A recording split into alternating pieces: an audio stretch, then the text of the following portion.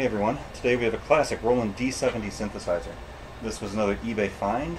It needs a little bit of work. So the auction for this one basically said it had dead keys. It powered up in the pictures and everything else seemed to work, just a lot of the key functionality of it wasn't working on it. Besides the keys, the unit was just dirty. I actually went through and I cleaned the entire thing just because it was gross. I don't know if this was another barn unit or garage unit as I call them because it has a lot of corrosion, has some rust, it was just covered in dirt, all the keys were dirty, which is really, really nasty. I didn't even want to touch it.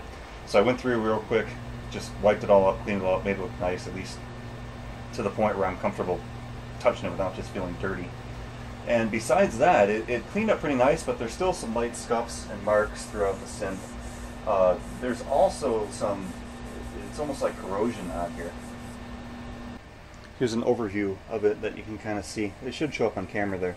Just tiny little specks. So I need to look into that and see what I need to do to clean that up. But I'm going to go through this some more and clean it up some more too. There's still some marks in there I feel I can get out. And I, I, I still feel this can look really nice when I'm done with it. Another item to note is the LCD. Uh, there's a little bit of uh, liquid crystal bleeding on the display there. So the display still works, but I'm going to look and see if I can uh, find a replacement there are people on eBay selling, you know, replacement LCDs for a hundred bucks, but I just need to look at the actual unit itself, figure out figure out what the make and model of it is, and figure out what the bus interface that controls it is, so I can just source a unit myself. The this LCD is also backlit. I noticed the backlit is not working on there from the pictures that I looked at. So the D70 came out in 1990. It predates my JV80 by a few years. The D70 was the last Roland synthesizer that was released that was part of the D series. That was our linear arithmetic synthesizers. In this case, it was a super linear arithmetic, which there was some changes to it that improved and added a couple more pieces of functionality to it. But coming out in 1990, it was in that time running into the JV series of products, which are being released just after it, which explains why the design of them are so similar. The, the, the whole metal cover on this is almost identical to the to the JV80. The keys themselves feel completely different though. So I think the keyboard is, is different. They're semi-weighted, but there's just a different springiness to them and just it's hard to describe but they just feel different than the JV80. I almost prefer the JV80 keyboard a little bit more I think, but at the same time this one probably has significantly more wear and that may play into it a little bit as well. Alright, so I've got it hooked up to some speakers here so we can hear the audio and powering it on. It does power up which is nice. I'm not too familiar with the D series yet, so I still need to go through the menus a little bit and, and actually understand how to use it. But so, got grand piano sample here.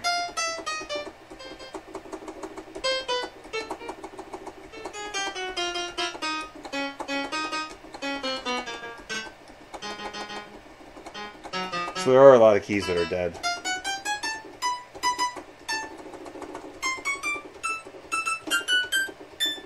Probably 10 so far. I'll have to clean all the uh, key switches. That's common on pretty much any older synth. They wear out, they get dirty.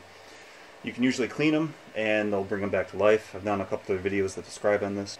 So the next step will be taking this apart, taking a look inside.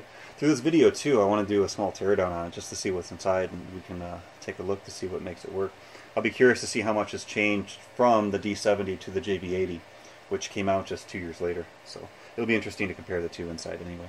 But other than that, I'm happy with it. Again, it costs basically nothing. They're always a little bit more expensive to ship, but it's just how it is for bigger, heavier items. This has got some heft to it too. I will say that this is uh, quite a bit heavier than my JV80, so I'll be curious to find out why inside. But that's it. So I will flip it over and we'll start taking it apart. Alright, I've got it upside on my bench. Uh, I've got it on some foam blocks here. Because actually the way the synth lays, the pitch bender itself, you'd be laying the, the whole synth on the pitch bender, which I, I don't want to risk breaking it. So putting it onto some pieces of foam props it off of the off the bench so I don't have to worry about damaging it. Another thing that's kind of annoying is the cord is hard coded or hardwired to the the back of the unit, which I don't really like. Most of the other Roland synths, it's it's removable standard IEC plug or the Roland proprietary plug. At least it's not tied to it, so it kind of makes working on it difficult. The next thing I noticed is that somebody's definitely had a go at this. There's screws missing, and some of the screws that are on here aren't even screwed in all the way. So somebody has definitely already been inside, which, I mean, it's not entirely surprising, but uh, we'll be curious to see what they've done in there. The other thing I noticed too when I flip this over, there's a couple screws rattling around inside, so I got to dig those out and figure out where those are where those are too. Maybe there's some of the screws in the back. I don't know. There's there's quite a few missing along the whole back there and some outside. So we'll start to open it and figure out what's going on. The screws are rusty too.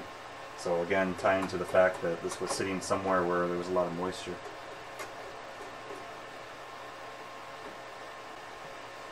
Alright, all the screws are off, so this should lift straight up, which it does. And it looks pretty clean inside, which is good. I was worried we are going to find a lot of rust, but I don't see much. I'll pull the uh, camera over so we can take a closer look. Oh, that's interesting. Hold on, I gotta bring the camera over. So, before I get into what I saw, the, the first observation I have is that this keyboard is completely different than the JV80 keyboard. The JV80 keyboard had a physical circuit board on the bottom that was removable, where actually all the contact pads for the individual keys laid, so you could pull those circuit boards off and get to all the individual uh, key contacts. This you can't. It's actually a plastic, uh, uh, flexible I can't think of what the name of it actually is. It's, it's basically a printed circuit board that's on a flexible material, but it's below this whole steel frame. So I'm going to have to pull the keyboard out and get to it from the top, and I'm going to have to remove all the keys to get, actually get in there and do it. But that aside, what I noticed was this. So somebody wedged paper in here, most likely in an attempt to try to fix the keys that were sticking so, and of course moisture got in there and there's some rust on that paper too, but there's a bunch of them. Not the only one.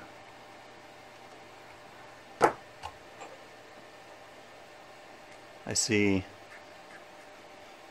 one, two, three, four, five, six at least through here. So uh, that was someone's attempt to fix it and that's all they do. I guess I'm happy. Yeah, just pieces of paper. So that must have been their thought if they put more pressure underneath the actual key switches they'll work. Maybe it fixed it temporarily, but that is not how you repair these things. So I'm going to have to clean all this out. I mean, I can get to it the other side anyway, because I'm going to have to pull this whole key contact strip out too, but oh, they're all rusty as well. You see the corrosion in there. I might have to pull that whole strip off just to clean it, make sure there's no rust behind there. How strange. Alright, well I'm going to clean up the rest of those real quick, and then we'll take a look around inside. So I cleared as much as the paper underneath the uh, key contacts as I could. I feel there's still a lot more in there. I'm going to have to wait till I get the actual keyboard disassembled before I get to get to the rest of it. Because I, I, just can't reach it and I don't want to risk damaging the, uh, the PCB there. So I'll get to that once the keyboard comes out. Uh, we'll go through the electronics in here real quick just to see what's going on. So starting with the power supply, we have classic Roland power supply. This basic supply has been every piece of Roland gear I've opened. This transformer is multi-tapped, just like the other gear I had. So if you need to convert this from a different voltage country, so if you have bought this from Japan, it was 100 volts, or it was in Europe at 240 volts, you need to convert it to 120 volt US. It's easy to do. I've published a video on that as well that describes how to change voltages. It's, it's basically just changing the tap on the primary. On this synth there is actually a fuse but it's on the secondary so it doesn't matter if you change the primary voltage you don't have to worry about changing the fuse as well which is kind of nice. Other than that just a simple linear power supply so you got a 5 volt regulator then a plus, plus and minus 12 volt regulator for the analog side both for the op amps and the analog digital converter. The caps are Nippon Chemi-Con so they're good caps in there except for this one I can't see logo on there. I think it's like a Mitsubishi logo. I'm not 100% sure. But none of them look to be leaking, so which is good. They're only 85C rated, but it looks fine. I can check the uh, supply later on the outputs just for ripple, but it's probably not going to need any attention, which is nice. Regarding that power cord too, if you really wanted to, there's a plate on here that actually mounts to the back, which is actually loose. But if you wanted to put an IEC power cord and get rid of the, the hardwired cord, you, it would be pretty trivial to, to add that in there, which is kind of nice as well. Here is the main digital board in the D70. You can see it's actually labeled D70 as well, so it was specific to the synth. At least I would imagine they wouldn't have used it in anything else, being the latest one that they produced. So, typical Roland construction. There's a lot of Roland badge chips on here. Not every one though, which is different. The JV80, almost every single chip on there was badged Roland. This one actually has an Intel microprocessor. So N80 C19 6KB12. So I believe that's a 16-bit microcontroller. I don't really know any of the specs of it. 12 megahertz, which makes sense. There's 12 megahertz crystal right next to it. So they're running an Intel uh, microcontroller in this, which is is different than the JV80, which all had custom Roland silicon. Along with that, we got our EPROMs, which are running the most likely the firmware for this unit to run, along with some additional ROM and RAM there. Uh, one of them being battery backed up by this 3 volt lithium here. And then on this side, these are most likely our ROM chips for the actual synthesis. All Roland branded as well, which is just interesting to see. Alright, so date codes, everything looks to be 1990. So ninth week, 1990, ninth week, 1990, sixth week, 1990. Yeah, everything's 90. So mine was at least built 1990. Could be later. I don't know exactly for sure. I didn't see any other stickers on the outside that, that outlined anything. The digital analog converter does not look to be on this board. There's a separate analog board, actually, which looks to have it. Actually, it does. I see it right now. I'll show it in a second. This, so the LCD and the front control panel are buried under everything here. And this, I believe, is the HV supply for that for that actual LCD backlight. So I might be able to, I want to look see if I can replace that backlight even if I can't source the LCD in it. The LCD still works, it just doesn't look as nice as I would like it to, that's all. But Besides that, you've got, let's see, all these cables here go off to, looks like the analog board, and then these two ribbons are going to the actual keyboard itself, which is, looks like it comes out pretty simple. Shouldn't be as much to tear down as there was in the JV80. Alright, we'll go over and look at the analog board. Here we are at the analog board. This is to the far right of the synth, and you can see this, this cable, shielded cable here, is actually carrying the digital data from the digital board to the analog board. And this is our DAC right here. It's a Burr Brown PCM56. So this is a 16-bit DAC, which is actually different. Uh, it's a different DAC than a lot of the other Roland gear I've looked at. Uh, first of all, being 16-bit, it's really high quality. It's also interesting because this is not a stereo DAC. It is a mono DAC. There's only a single digital analog converter in that chip. So what they're doing is they're actually chopping the digital audio coming in between the left and right channels actually on the output. And my guess is they're probably doing that with this chip here, which is a 4052. I believe that is a multiplexer. So Roland again is using good quality DACs in their in their equipment. These uh, these Burr Brown chips are expensive at the time, uh, especially with 16-bit resolution. So they they definitely put money into the quality of the audio output, which, which is really nice. The rest of this board contains JRC op amps, most likely. We got four actual audio outputs on here, plus the headphone output. So there's two primary left and right stereo, and there's also two auxiliary that you can probably assign to different instruments or something. I'll have to look at the manual. I'm not entirely sure, but that's typically what you see on, on synths like that that have the multiple outputs. But other than that, nothing too exciting on there. So that's about it for that board. I did dig those two screws. There's actually two screws in here that were bouncing around that I found. They were both buried down in here, so when I flipped it over, they just ended up on this side of the synth and I think they go. So of course, I just dropped one, but I think they went right here because it looks like there's two uh, two holes that actually go to the. Maybe I don't know. Maybe not. I'll have to figure out where these go. So they're, they're from somewhere in here. I don't know where yet. The next steps are going to be to start taking this apart so I can get this keyboard assembly out. It looks like I'm only going to have to take out these top three boards, and that's it. So this should come apart a lot easier than some of the other things I've worked on. Once I get the keyboard model out, I can flip it over, then start tearing that apart to get to these key contact switches. I'm not going to take pictures of this one. It actually, it's pretty simple in terms of the wiring. Every connector is a different size too, so you can't mistakenly plug one into the wrong slot, which is nice.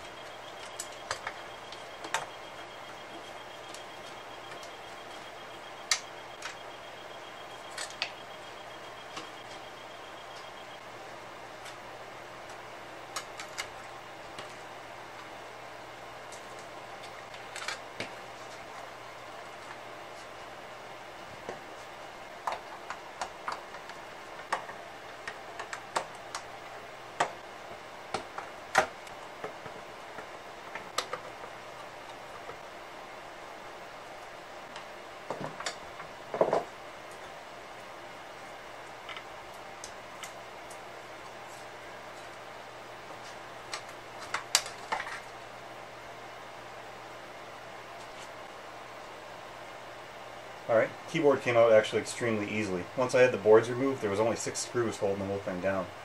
The lower cover is actually what supports all the weight of it. So with all the screws removed when you took the bottom off, there was only a couple screws actually holding it in, which made it come out really, really easy.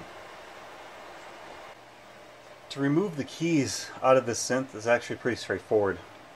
You press down on the key and you slide it forward, and then you lift up on the back, and then you actually slide the key out to the front. There's a metal spring that sits in every single one of the keys here.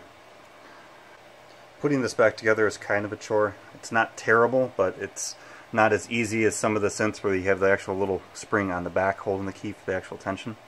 To, to put them back in, you lay this piece of metal in place, and then you slide the key on, putting this underneath the front portion here. Line up the metal tab, pull it forward, push down and let it lock into place, and then it's restored. All these keys are actually number two for the key position that they are, so when you pull these off, just keep them in order. If you mix it up, you can still figure out how to get back together. It's not a terrible thing, but it's a pain because you got to take every single key off to get to the rubber membranes underneath it, which I'm going to start doing here now.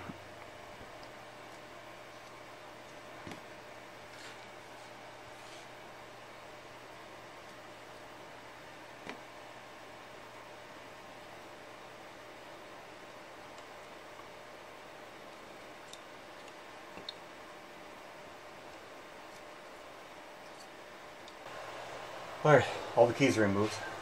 A couple notes with this too is I left all the springs in place. no reason, real reason to take them out. They just kind of rest there. I'm not going to be flipping this upside down, so there's just less chance of, of, of losing them. Then secondly, all these actual springs have a little bit of grease on there. It's almost like some type of white lithium grease. So I've got some plastic safe greases. I think I'm going to wipe all of this off and replace it. Some of it's really dirty. There's a lot of nasty dust and just dirt in there on it. So I'll clean all that up and reapply it. Uh, surface rust, there is quite a bit of little surface rust on here, so I'll go through and just kind of clean all that up as well as much as I can, along with all the dirt. Because, you know, on the keys, all your dirt falls in between the keys and ends up on this board. And that's why it gets so filthy and nasty in here. So I'm going to clean everything up as much as I can. Uh, the important part is I'm down to the actual rubber, rubber membranes. So here's a close-up of the actual key switches the actual little rubber contacts just have little rubber pins that, that line up in the holes on this metal backplane. So if you carefully pull them right at where they're connected, you can pop them out without damaging anything. There's quite a few on there that hold them in place. Just gotta get that top row now. Just want to be careful because you don't want to damage these. Okay, and it's off. So looking at the key contact switches, you can see that there's a little bit of dirt and kind of residue on there on them. And then the board side as well. Look, another piece of paper wedged in there. But these need to be cleaned as well. So we'll clean all these actual contacts with isopropyl alcohol and then do the same for the contacts here. I've used isopropyl alcohol to clean these contacts for years and never had any trouble with it doing it. It's it's safe to use on this type of rubber. People say that it isn't, but it's fine. I've never had a problem, even years and years later. Some some of them 10 years ago, I, I cleaned these contacts, and um, they're still working just fine today. But I'm going to have to lift up this entire strip so I can get the rest of these stupid pieces of paper that are wedged under there out. So looking under this actual strip here of the, the key contacts, you can actually see all the little rust spots where those stupid pieces of paper were sitting under there. It's so annoying. So I'm going to clean this up as much as I can just to make sure it, it doesn't deteriorate any further. But again, it's just a, annoying that somebody stuffed paper in there. And this is the result of that stupid mistake. As you're cleaning these contacts on the on the actual keyboard key switches, you only need to rub very gently. You don't need to put much force. If you do put excessive force on it, you will start to remove some of the carbon layer. So you definitely do not want to put force onto this as you're doing it.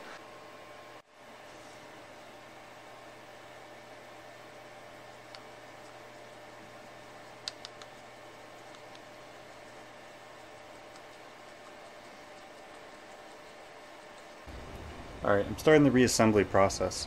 So, in the meantime, I went through and I cleaned every single contact on these strips. And then I cleaned every single pad on all the actual uh, rubber switches themselves. Got rid of all the residue, got rid of all the dust and dirt in there that was preventing contact.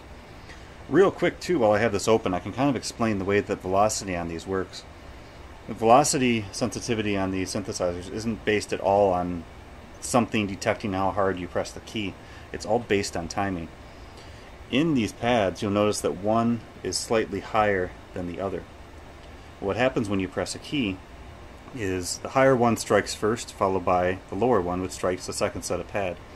And the matrix, the way that these are set up on, that goes back to the processor that, that interprets the keystrokes, works strictly based on timing. When you press the key very softly, time between that first pad hitting and the second pad hitting is a little bit longer than when you strike the key hard and that first pad hits and the second pad hits almost you know rate a lot quicker right after the first pad hit. So the Microsoft the microprocessor in there actually looks at the timing of every one of these keystrokes, and that's how it interprets the velocity of how hard you're hitting the key. So putting this back together, it's important that you orientate these the same way that they came out. That is, you got to make sure that they go in this way and not this way because if you put them in backwards it's probably not going to work because every keystroke the first key is going to hit or the first pad is going to hit after the second pad hits and I don't think the microprocessor is going to understand and be able to interpret that so you're not going to get any sound out of it. Placing these back in too before you do it make sure you clean everything go through it again just with a fine cloth get any dust off the surface you don't want any contamination getting back in there could uh, possibly make this keystroke not work again in the future. To insert these back in, the best way to do it is just take a small uh, pointed object. In this case, for me, a small uh, Allen wrench fits perfectly. And you press basically in the little pads until you feel them click in. And you just go down the row, reinserting these all back in, uh, the exact orientation that they came back out.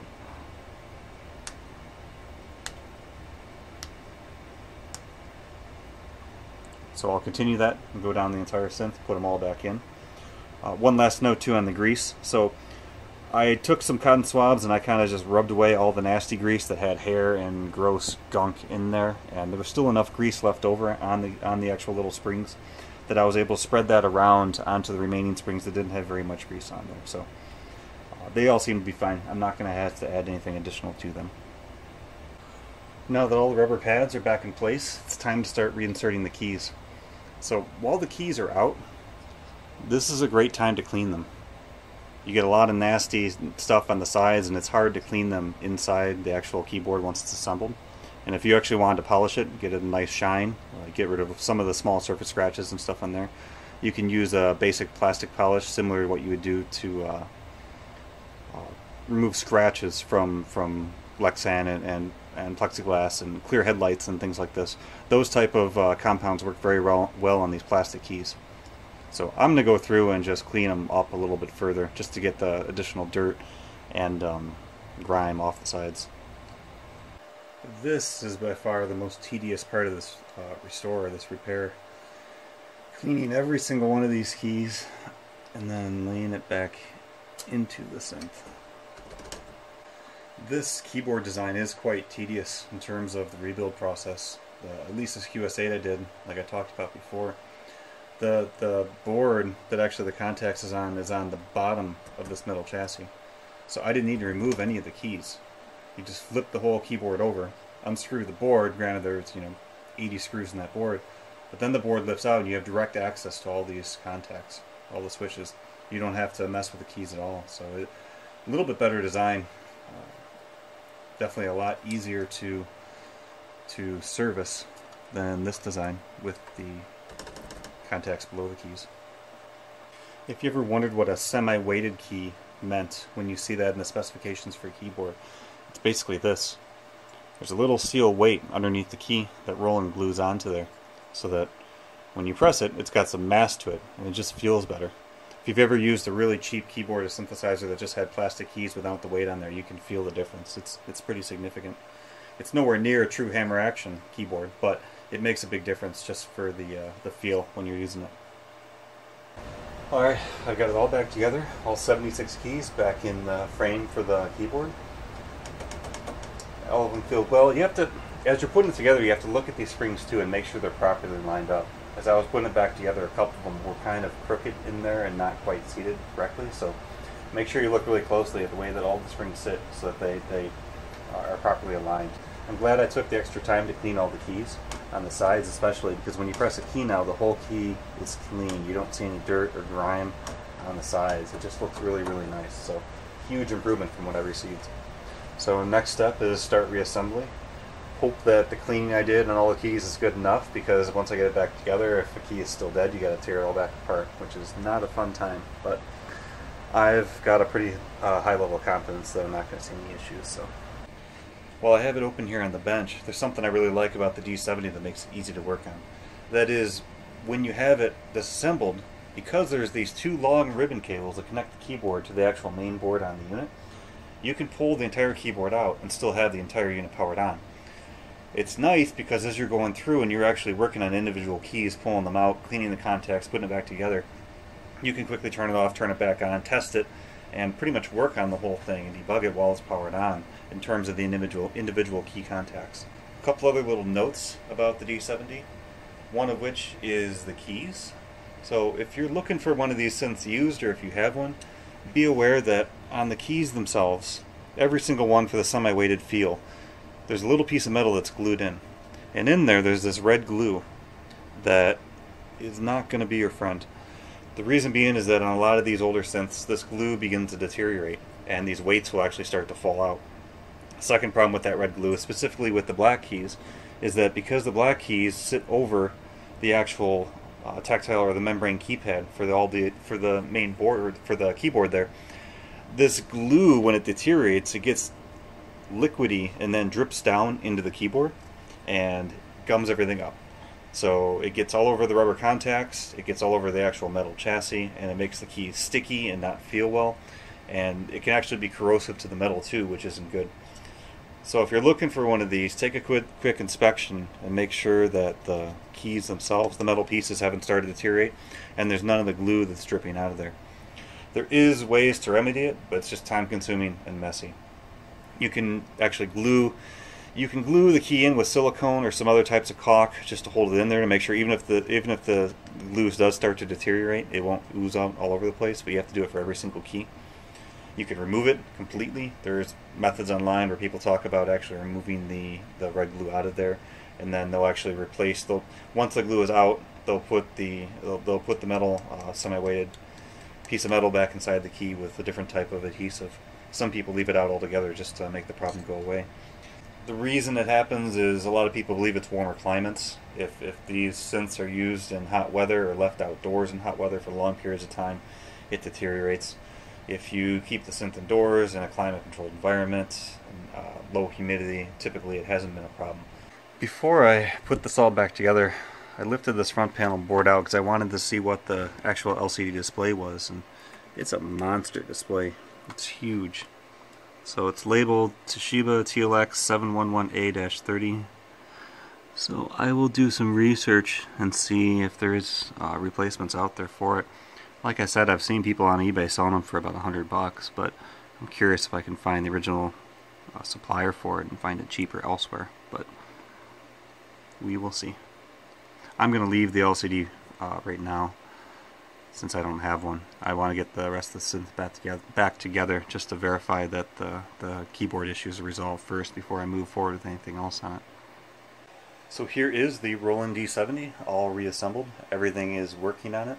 I spent some more time cleaning it up, trying to get rid of some of the corrosion on the top case. I did the best I could clean it. Some of the areas that were pitted, I actually filled with a Sharpie marker, then quickly wiped it off with a with a soft lint cloth or a lint-free cloth that has a, a little bit of uh, plastic cleaner on it, and it actually cleaned up kind of nicely. From a distance, it made it look significantly better. Close up, you can still see it's flawed, and there's tiny little dark spots from the Sharpie, but it's better than seeing the, just the raw aluminum speckles all over it from the corrosion itself. In terms of the display, I did some research, and the ones on eBay for about $100 are the, actually the best deal I can find right now. I found some in the UK with the conversion were a little bit cheaper, but to ship them here it would just offset the cost anyway. So I'm not entirely concerned about it. I am somewhat disappointed. The display on this definitely looks like it was probably damaged from heat, maybe left out in the sun. Maybe it froze, I'm not entirely sure. Looking at it straight on though, the display looks fine other than the, just a little bit of the, the LCD bleeding from the liquid crystal you can see on it that I mentioned earlier.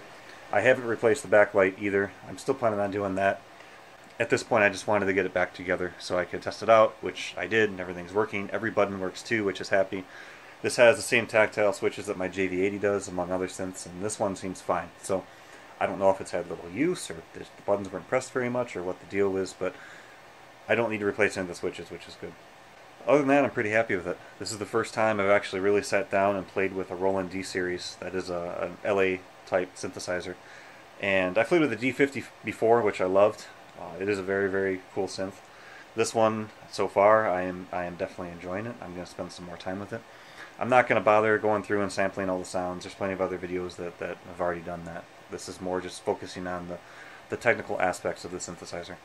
So I hope you enjoyed this video, and hopefully if you have a D70 that needs repair, this provides some insight into it. Thanks for watching.